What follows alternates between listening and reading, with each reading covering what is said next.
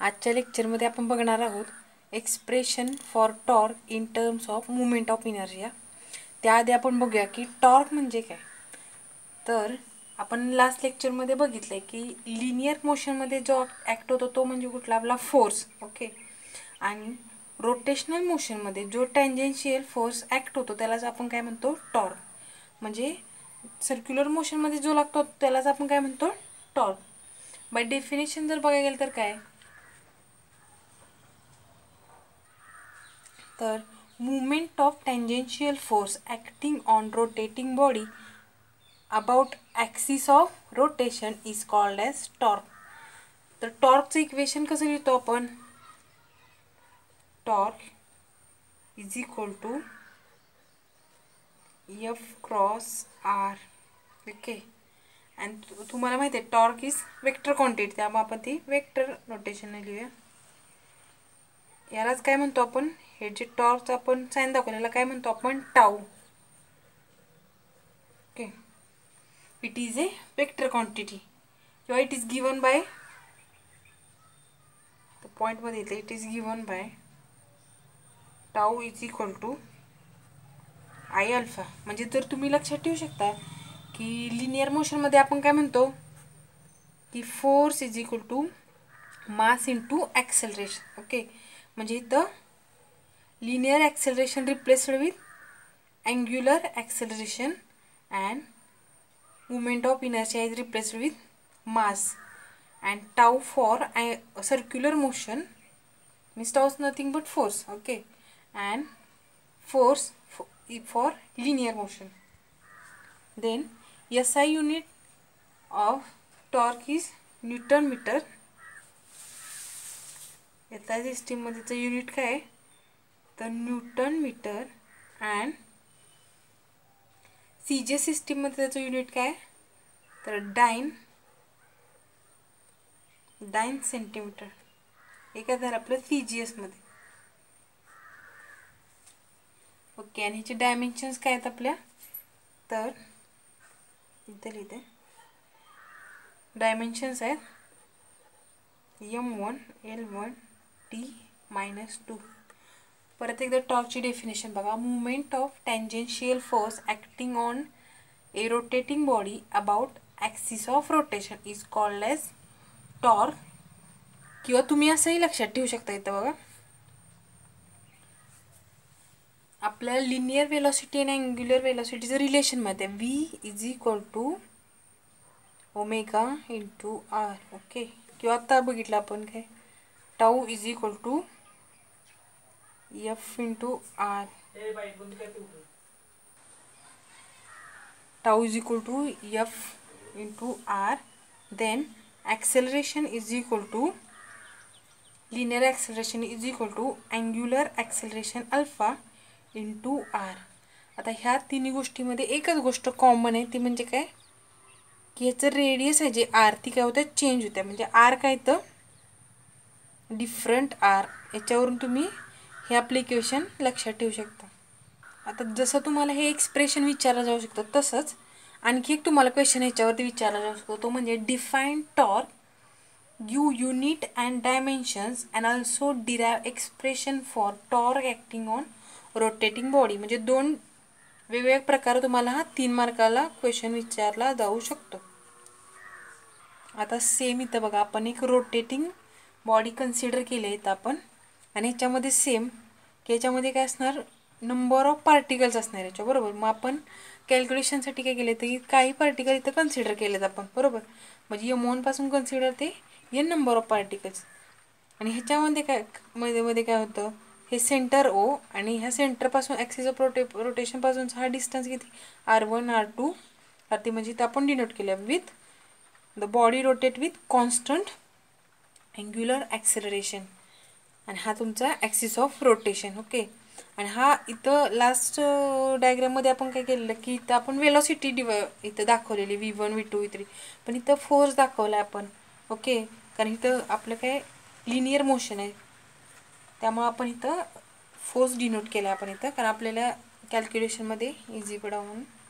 बघा इथं काय consider a rigid body consist of N number of particles consider a body consists of n number of particles of mass m1 m2 and up to mn हे बघा इथं mass इथं दाखवलं okay this particle situated at distance from the axis of rotation let R one R two R three and R N the distance between the axis of rotation okay each particle move with constant angular acceleration alpha म्हणजे last time आपण omega दाखवलं होतं okay आणि angular velocity तर काय दाखवलं angular acceleration let the force F one F two F three and F F N acting on the particle whose mass म्हणजे ते प्रत्येक जे मास दाखवलं आपण ते प्रत्येक मासवर ॲक्ट झालेला फोर्स आपण दाखवलं ओके आता बघा इथं आपण आपल्याला रिलेशन एक माहिती आहे काय? Force is equal to mass into acceleration मग आपण इथं काय करणार आहे की प्रत्येक पा पार्टिकलवरती किती फोर्स ॲक्ट होतोय ते आपण काढायचे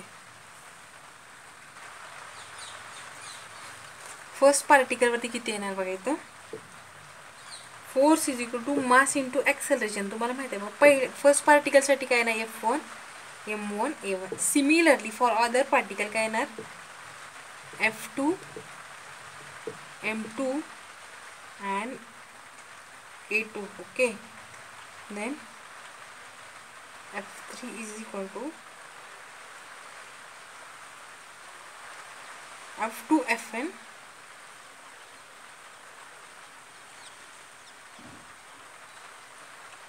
ह्याला काय तर आपण इक्वेशन वन म्हणूया. म्हणजे काय आपल्याला प्रत्येक पार्टिकलवरती फोर्स ॲक्ट झालेला आपण इथं काढून घेतलं equation the linear acceleration on first particle हे रिलेशन आपल्याला माहीत आहे काय? तर linear acceleration is equal to R into angular acceleration हे रिलेशन फर्स्ट पार्टिकलसाठी झालं. आता सिमिलरली फॉर ऑदरसाठी काय येणार? A two is equal to R two alpha आता इथं अँग्युलर ॲक्सेलरेशन आपलं काय? कॉन्स्टंट आहे. त्यामुळे प्रत्येकासाठी आपण ते लिहायचं आहे.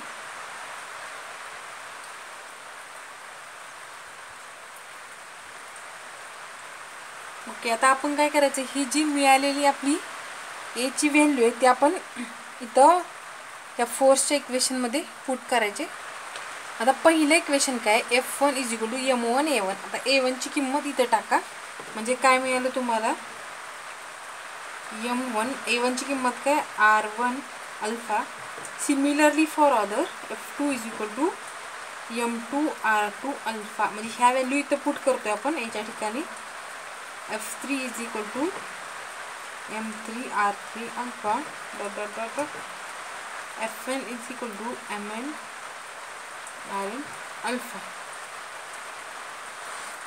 आता आपण काय करणार आहे? आपल्याला याच्यामध्ये काय आहे की रोटेटिंग बॉडीवरती टॉर्क किती ॲक्ट होतो आहे. काढायचं त्यासाठी आपण काय करणार आहे की फर्स्ट पार्टिकलवरती किती टॉर्क ॲक्ट होतो आहे म्हणजे प्रत्येक पार्टिकल आधी फर्स्ट काढूया आपण. ओके तर torque acting on first particle तर तुम्हाला इक्वेशन माहिती आहे काय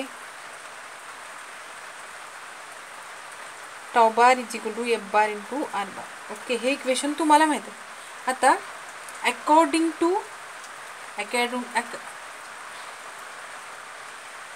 आता कॅरेक्टरिस्टिक ऑफ वेक्टर प्रोडक्ट तुम्हाला माहीत आहे. काय की A cross B is equal to A B sine theta okay तोच इथं आपण अप्लाय करायचा आहे आता. म्हणजे कसं येणार आपलं equation tau is equal to top R sine theta okay then आता बघा फ्रॉम डायग्रॅम बघूया आपण. आता डायग्रॅममध्ये बघा इथं इथं. Between the mass and force ह्याच्यामध्ये काय अँगल कितीचा क्रिएट झाला आहे नाईन्टीचा ओके त्यामुळं काय? थिटाची किंमत किती आली आपली? Ninety and sine ninety is equal to one okay म्हणजे आपल्याला काय इक्वेशन मिळालं? Tau is equal to F dot R म्हणजे हे काय झालं? फॉर फर्स्ट पार्टिकल आता ऑदरचं मी काही काढत नाही. सिमिलरली म्हणून मी इथं येते. आता याच्यामध्ये बघा आता फर्स्ट पार्टिकलसाठी मिळालं टॉर्क ॲक्टिंग म्हणून फर्स्ट पार्टिकल आता ह्याच्यामध्ये तुम्हाला फोर्सचं इक्वेशन माहिती आहे. ते आपण हे इथं पुट करायचं. म्हणजे कसं झालं? Tau one is equal to M one R one M one R one alpha आणि हे आर वन आहे आता हे R one R one square झालं. Tau one is equal to M one R one square alpha आता हे झालं first part पार्टिकलसाठी आता सिमिलरली अदर पार्टिकलसाठी आपण हे डायरेक्टच घेऊया. आता याच्यामध्ये काय केलं आपण प्रत्येक पार्टिकलसाठी किती टॉर्क ॲक्टिंग हो ॲक्ट होणार ते आपण काढलं. आता काय करायचं आपल्याला total torque acting on rotating body total torque acting on body मग ते कसं मिळणार आपल्याला? Is equal to tau one plus tau two plus tau three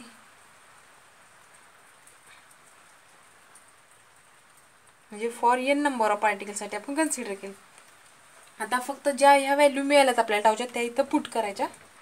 आता याच्यामध्ये कॉन्स्टंट काय दिसते तुम्हाला? तर अल्फा अल्फा आपण कॉन्स्टंट बाहेर काढून घेऊ याच्यामधून आता ही टर्म टोटल आता ही म्हणजे तुम्हाला माहीत आहे तर काय? की ह्याची जर सम केली तर आपण आपल्याला याची किंमत काय मिळाली? लास्ट टाइम आपण बघितलं होतं की आय म्हणजे मुवमेंट ऑफ इनर्स याचं म्हणजे काय? Mass into distance from axis of rotation म्हणजे तेच कसं लिहि लिहि लिहिलं आपण ते? I is equal to summation over M I R I square okay हे म्हणजेच काय आपण ही टर्म ह्या टर्मसाठी रिप्लेसमेंटला हे लिहितो आपण बरोबर? म्हणजे काय आपल्याला मिळालं? Equation tau is equal to I into हे अल्पा राहिलेलं आपलं. म्हणजे आपल्याला आपण हे प्रूफ केले तर काय?